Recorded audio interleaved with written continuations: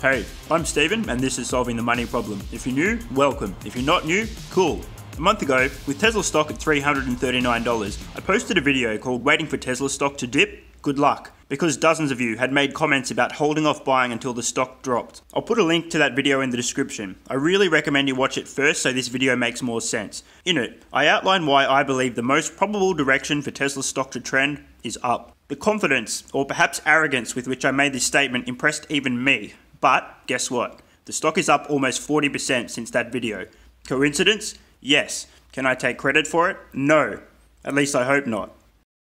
But was it the most probable outcome? Yes. And that's why I was willing to make a strong statement about a future event. Now, a few of you missed the point of that video. I didn't say Tesla stock will go up. I said, let's look at the probabilities and determine the most likely trend over time.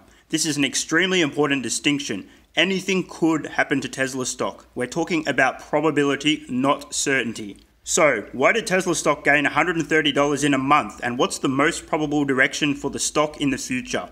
Spoiler alert, it's still not down. So in this video, in an effort to help you guys understand how I think and reason, plus to show you that reasoning playing out in the real world, it's time for a quick update. Q4 breaking records. As I predicted, Tesla reported record production and record deliveries in Q4. Ooh, that's awkward. We'll have to wait for the Q4 earnings call in a few weeks to find out whether they also achieve record profits and a record order backlog, but I believe the odds of both are high. And I also don't believe Wall Street is expecting this. If you can't read between the lines, allow me to spell it out. If Tesla beats Wall Street expectations, that is a good thing. Got it? The Model Y ramp. I also mentioned how important the rumours that Model Y ramp was almost a year ahead of schedule were. It shows how quickly Tesla is learning and how fast they can now ramp production. A few weeks later, and not only did Tesla announce Model Y production will begin in China, which I also predicted, but that they're going to design a brand new vehicle in China for the global market. What are the odds of that being a compact car? Wall Street wasn't expecting this. Gigafactory 3 production. I also detailed how incredibly quickly Gigafactory 3 was ramping. Well, a few weeks later, and the first made in China Model 3 customer deliveries have already taken place. And on top of that, we know the factory is now ramped close to its annual Model 3 capacity of 150,000 units. If you're not up on your history, 12 months ago, Gigafactory 3 was a muddy field. Can we all please just take a moment to ask one question together? What the actual?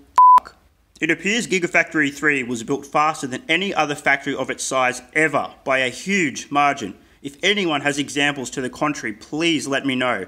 And it appears Gigafactory 3 has ramped vehicle production capacity to 3,000 a week in just three months, a fraction of the time taken in the US. Tesla is learning very fast. This matters a lot. Wall Street wasn't expecting this. I wasn't expecting this. In fact, some analysts today are predicting production of around 50,000 made in China Model 3s for the entire year of 2020. Many analysts are completely sleeping on China.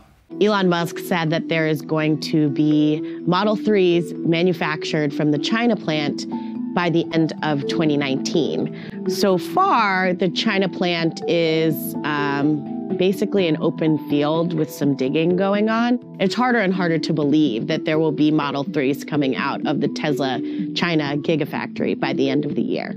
Um, but what Tesla doesn't have right now is a factory. So that's a problem.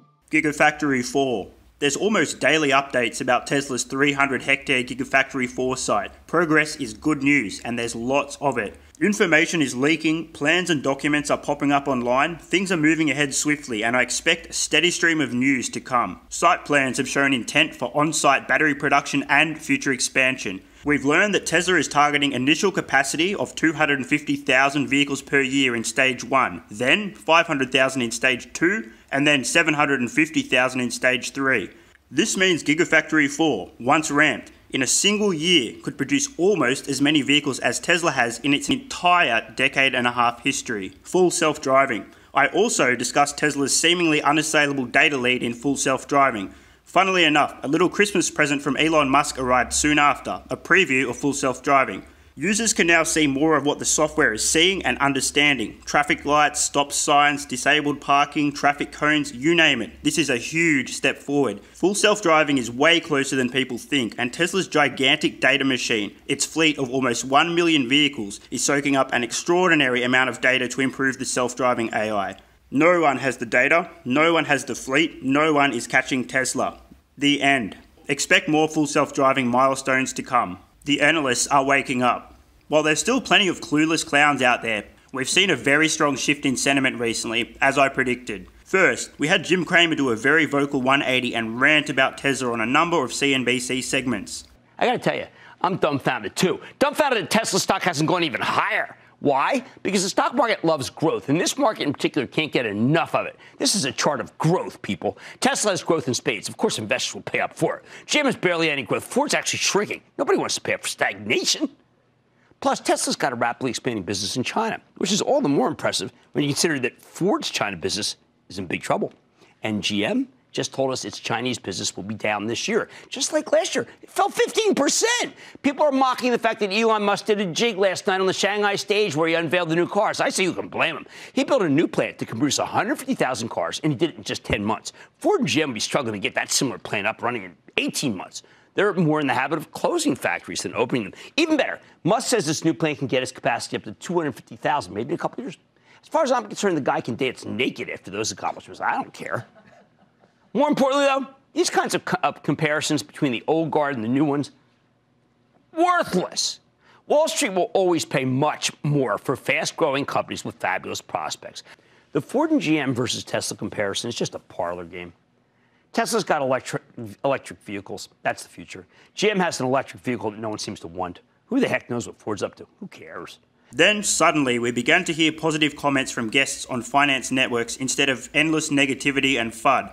It's almost as if a memo was sent out.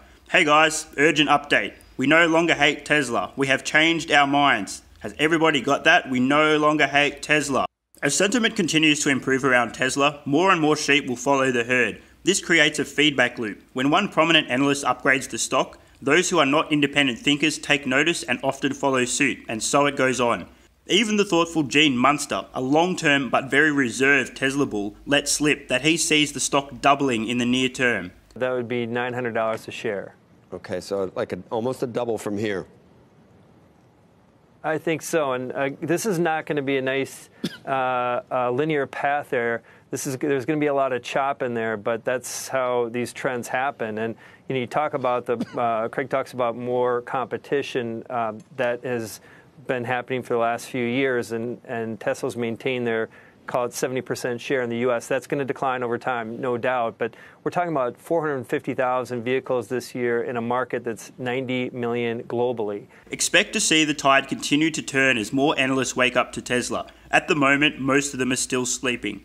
But let's take a look at shares of Tesla over the last three months. As they have moved higher, so have price targets that have been put out there by the analyst community. In September, they were at about $270. Now it's up to 344. That is the average price target that's out there. Since October, you know, my lack of understanding in the stock is it's it's palpable. I mean, it's ridiculous. I mean, the stock has gone basically from 320 to the current levels in a straight line. So I just want to put that out there. Again, I'll say, you know, for the last month and a half, two months, completely lost. I could keep rattling off reasons, but I feel I've made my point. In summary, Tesla stock has trended up because a stream of good news has flowed from the company. They're breaking records, surprising everyone with their speed of execution, and basically just doing a whole lot of winning.